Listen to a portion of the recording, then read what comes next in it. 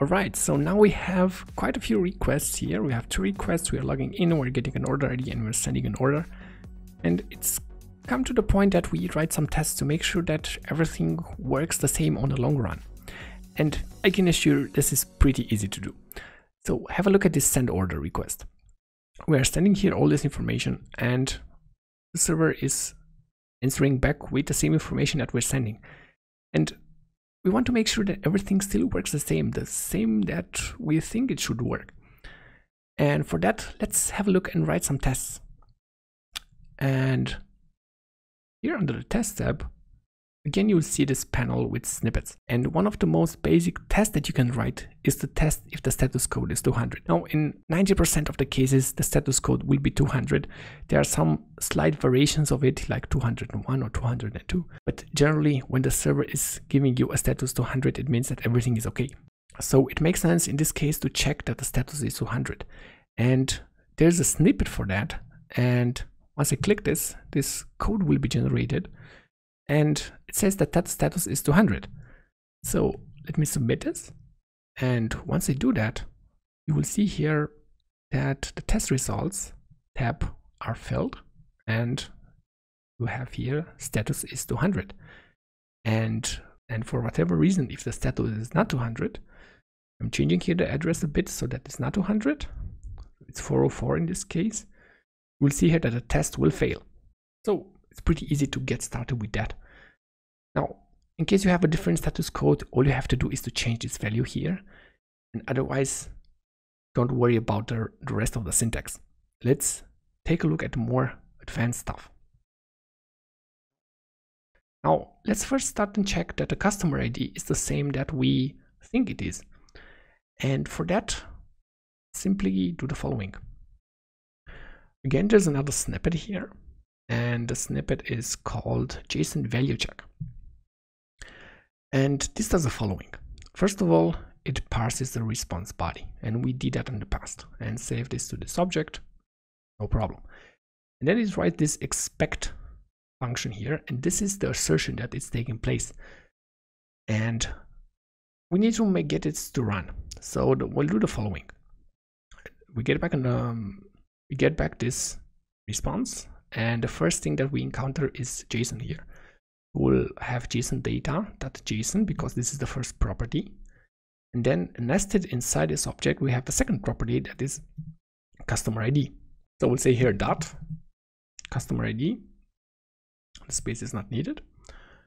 And we want to say customer ID equals, uh, let's say, for example, of 24 for now.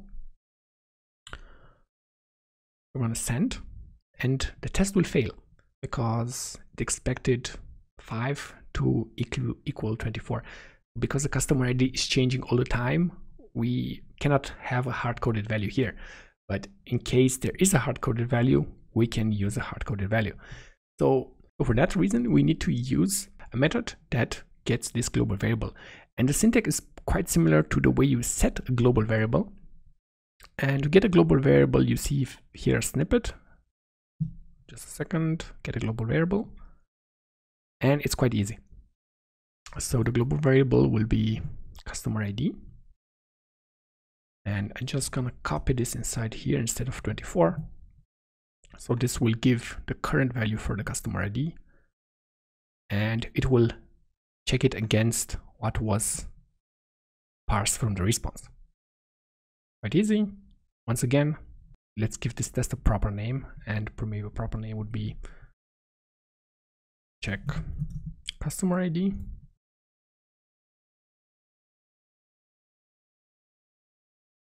and it's working. That's that's quite great. And my tip for you is every time make sure that your tests fail.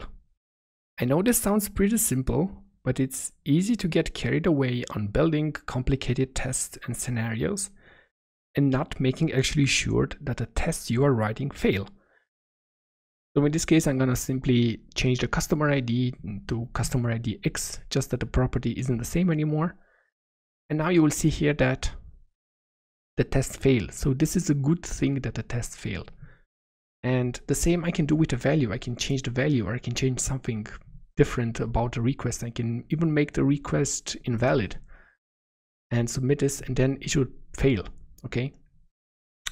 So make sure remember that always make your tests fail after you've written them. Now we are checking the status code. We are checking that the customer id is the specific one.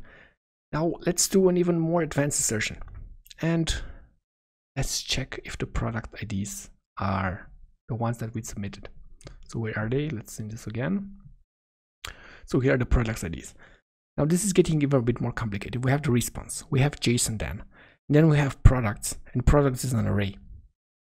And we want to check that product ID is here and it's 3000. So how do we gonna do that? Let's go back to the tests and figure it out. Now, most of the tests will be pretty similar to the previous one, so let's copy and paste that. I'm gonna say here check product IDs and we're parsing the response body. And what are we expecting? Well, let's figure out the path first. Every time you're not sure about the path to something, use go step by step, go object by object, use console log, and figure it out where you're doing something wrong. If you cannot get the value that you're looking for in the console, it doesn't make any sense to write a test, okay? So I'm having here JSON and then products. And then we have an array and want to check the product ID. So how do we do that? So we have JSON data, that JSON, that products. And because this is an array, in order to access elements from an array, we have to use these square brackets. And the first element in a JavaScript array has the key zero. And then we want to check the product ID. Should be 3000.